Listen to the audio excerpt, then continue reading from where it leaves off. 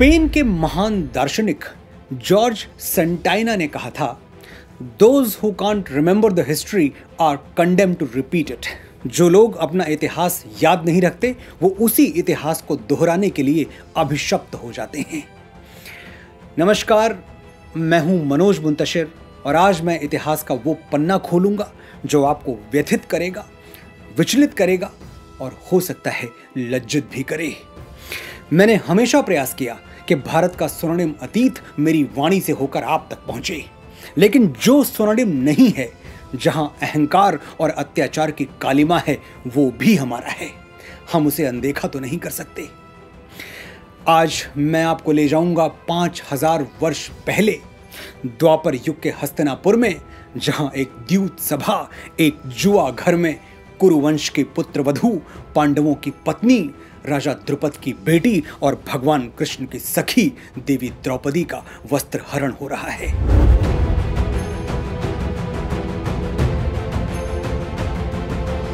कौन थी द्रौपदी?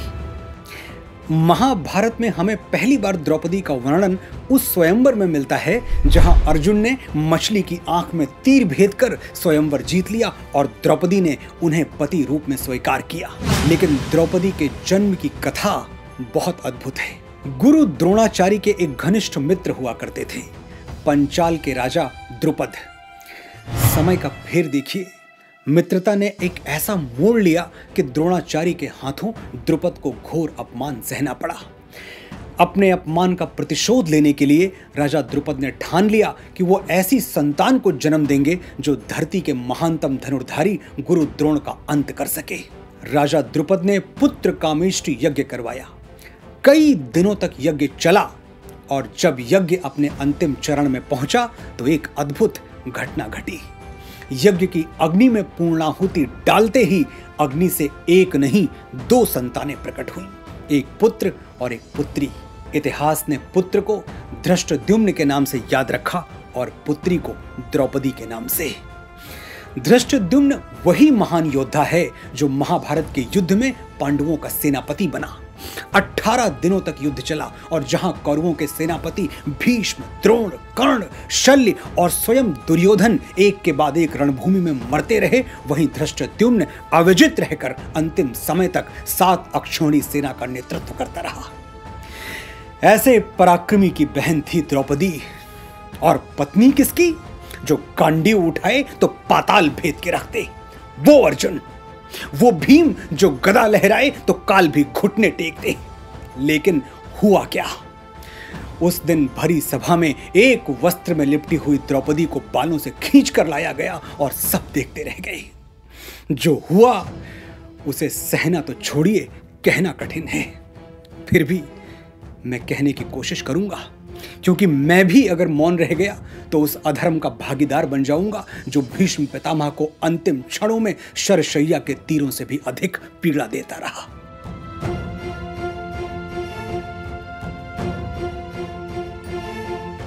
युधिष्ठिर, जुए में अपना राजपाट, अपनी संपत्ति, अपने चारों भाई और अंत में खुद अपने आप को भी हार गए। खेल यहीं रुक जाता तो ठीक था।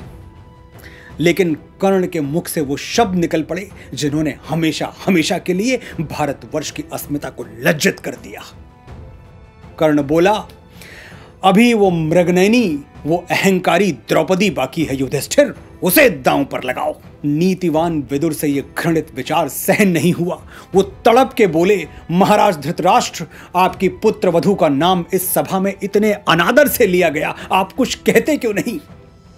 धृतराष्ट्र ने कुछ नहीं कहा, लेकिन उनका मौन कह गया कि पुत्र प्रेम जब सचमुच अंधा हो जाता है तो पतन की सीमाएँ पाताल को भी लज्जत कर देती हैं।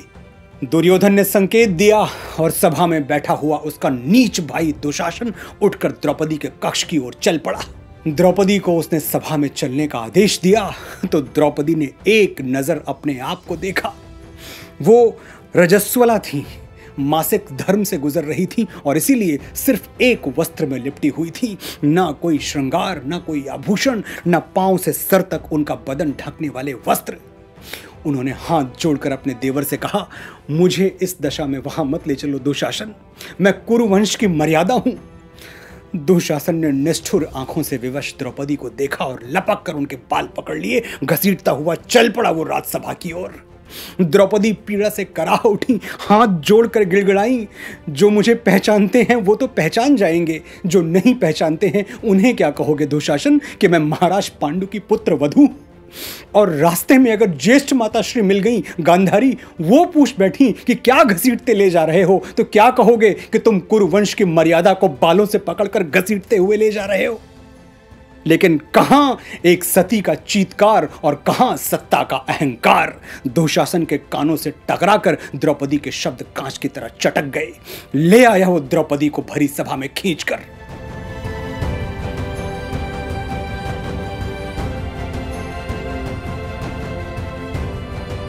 द्रौपदी कुरुवंश की बहू एक कपड़े में लिपटी हुई। भीष्म पितामह की आँखें झुक गई।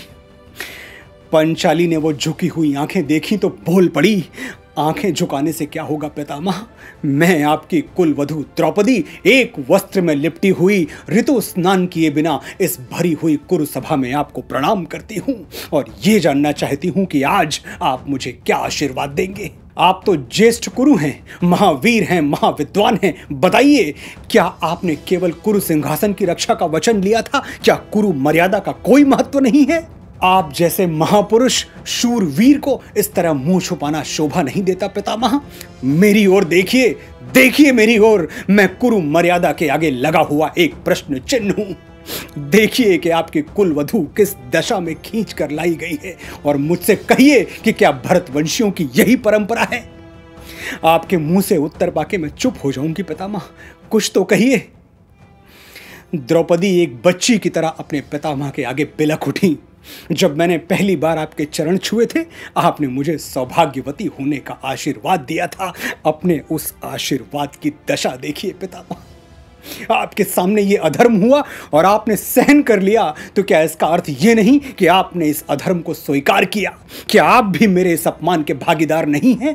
और यदि नहीं हैं तो उठाइए अपना धनुष और छेद दीजिए उस जिभ्या को, जिसने आपकी कुलवधु द्रौपदी को दासी कहने का अपराध किया है। आप पाप के वृक्ष की छाया में बैठे हैं पितामह उठ जाइए। आपको तो शास्त्रों का ज्ञान है, पितामह। बताइए कि जो व्यक्ति स्वयं अपने आप को जुए में हार चुका हो, वो कौन होता है किसी और की स्वतंत्रता, किसी और के स्वाभिमान को दांव पर लगाने वाला? मैं अपने प्रश्न का उत्तर मांग रही हूँ, पितामह। आपका यह लज्जित मौन मेरे प्रश्न का उत्तर नहीं है, क्योंकि यह प्रश्न केवल द्रौपदी नहीं, पूरी नारी जाति कर रही है।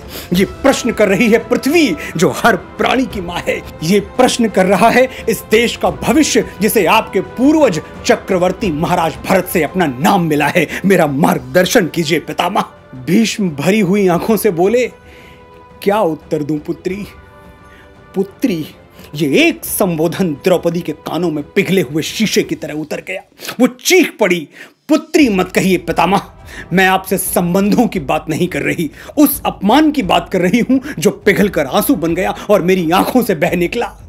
यदि पत्नी पति की संपत्ति होती है तो जब मेरे पति अपने को जुए में हारे, साथ में मुझे भी हार गए तो फिर मैं दांव पर कैसे लगी?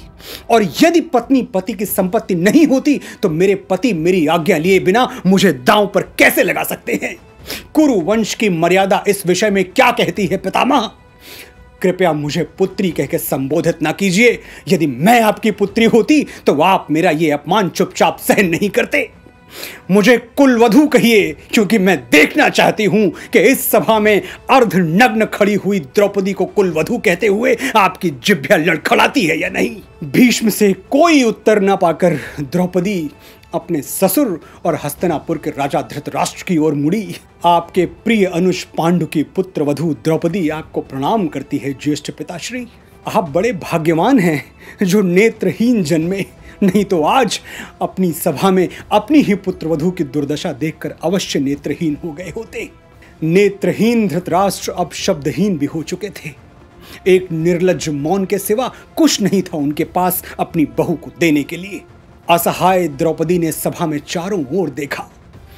गुरु द्रोण दिखाई दिए।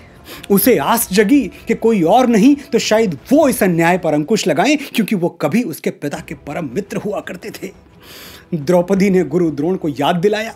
आपने विदुर से यही संदेश भेजा था ना कि आपके बचपन के सखा द्रुपद की बेटी होने के नाते मैं आपकी भी बेटी हूँ और पांडु की बहू होने के नाते मैं आपकी भी बहू हूँ। तो आज किस संबंध से आपका चरण स्पर्श करूँ? बेटी या बहू? द्रोणाचार्य ने भी अपने होठों पर मौन के ताले लगा लिए। द्रौपदी को वो क्षण निकट आता दिखाई दे रहा था जब उसके तन का अंतिम वस्त्र भी साथ छोड़ देगा। उसे आभास हुआ कि प्रार्थनाएँ मरे हुए स्वाभिमान को जीवित नहीं कर सकती। विवशता में जुड़े हुए हाथ खोलकर वो एक सिंघनी की तरह दहाड़ उठी और उनसे प्रश्न किया जो उसकी मर्यादा की रक्षा करने के लिए वचनबद्ध थे। वो बोल उठी युधिष्ठिर से, तुम होते कौन हो मुझे दांव पर लगाने वाले, मुझे हारने वाले? यदि तुम्हें अपनी पत्नी को हारने का अधिकार हो भी तो मैं केवल तुम्हारी पत्नी नहीं हूँ, मैं पाँचों पांडवों की पत्नी हूँ। क्या मुझे दांव पर लगाने से पहले इन्होंने तुमसे पूछा था, नकुल? सहदेव, तुमसे पूछा था? तुमसे आज्ञा ली थी? क्या तुमने इन्हें आज्ञा दी थी?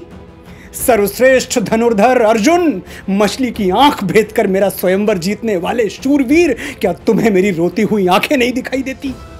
क्या तुमने मेरा स्वयंवर इसलिए जीता था कि एक दिन मैं दांव पर लगा दी जाऊँ और तुम्हारा गांडीव लकड़ी के टुकड़े की तरह धरती पर धरा रह जाए? धर्मराज युधिष्ठिर, जुआ तो पहले भी कई बार खेला गया है, लेकिन किसी ने अपनी रखेल तक को दांव पर नहीं लगाया और आपने अपनी ब्याहता को दांव पर लगा दिया? धिक्कार है।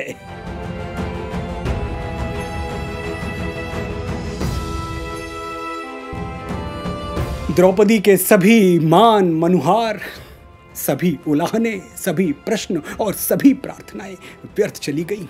दुर्योधन एक निरंकुश हाथी की तरह चिंगाड़ उठा, नंगा कर दो मेरी इस दासी को। जरा मैं भी तो देखूँ जिसे मैंने जुए में जीता है, वो बिना वस्त्रों के दिखती कैसी है? दुशासन तो जैसे इसी आदेश के लिए प्रतीक्षारत था। उसके हाथ द्रौपदी की चीर की ओर ऐसे बढ़े जैसे कोई नाग अपने शिकार की ओर झपटता है। भरी सभा के सामने द्रौपदी के बदन से सारी खींचने लगी। वो द्रौपदी, जिसके शरीर को पवन भी नहीं छू सका, सूर्य का प्रकाश भी नहीं देख सका, आज अपने पतियों के होते हुए, पितामह और गुरुओं के होते हुए निर्वस्त्र हो रही थी। अब पंचाली किससे आस लगाती? कौन था सिवाय द्वारकाधीश के, जो उसकी अस्मिता को आदर देता? चीर का एक कोना अपने दांतों तले दबा के द्रौपदी मन ही मन पुकार उठी, मेरी लाश बचाओ, गिरधारी। कृष्ण ने अपनी सखी को निराश नहीं किया। उसकी चीर में अपने विराट स्वरूप के धागे जोड़ दिए। दुशासन के हाथ थक गए खींचते खींचते लेकिन द्रौपदी क्या? द्रौपदी के नाखून का एक अंश भी निर्वस्त्र नहीं कर सका।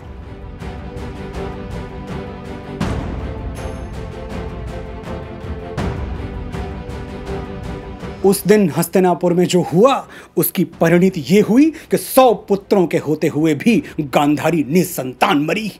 कुरुक्षेत्र में इतनी चिताएँ जली कि आज पाँच हज़ार वर्षों बाद भी धुएँ से आसमान काला है। और कर्ण, वो धर्मनिष्ठ कर्ण जो उस दिन अधर्म का साथी और साक्षी बना रहा, अपने प्राण त्यागते हुए उसे बस एक पछतावा था। अभी भी शुभ्र उर की चेतना है। अगर है तो यही बस वेदना है। वधु जन को नहीं रक्षण दिया क्यों? समर्थन पाप का उस दिन किया क्यों? न कोई योग्य निष्कृति पा रहा हूँ। लिए ये दाह मन में जा रहा हूँ। कर्ण ने मन ही मन द्रौपदी से क्षमा मांगते हुए अपने प्राण त्याग दिए। महाभारत में दुर्भाग्य की सभी सीमाएँ पार हो गईं। लेकिन भारतवर्ष का सनातन इतिहास अग्नि की ज्वालाओं से जन्मी अपनी विलक्षण पुत्री पर सदैव गौरवान्वित रहा। सनातन ने द्रौपदी को पंच कन्याओं में स्थान दिया और उसे ब्रह्मांड की सबसे पवित्र स्त्री स्वीकार किया। मेरे पास आज ये कथा सुनाने का न कोई पर्व था, न कोई औचित्य, न कोई कारण। फिर भी मैंने ये कथा सुनाई ताकि हमें अपना इतिहास याद रहे और उसके कलंकित पन्ने हमें फिर कभी न दोहराने पड़े। आपने धैर्य से सुना, आपका आभार।